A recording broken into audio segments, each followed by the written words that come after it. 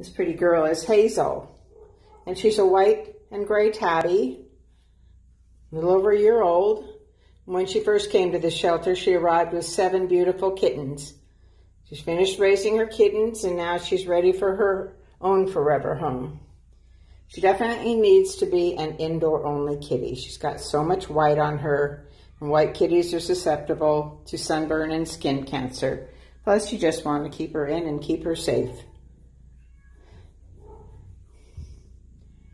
She was pretty vocal when I first brought her out, and now she's calming down and purring. Get the impression she would settle in pretty quickly in her new home. Has the prettiest markings. And looks forward to finding her forever home soon. This is Hazel. Yeah. So much to say.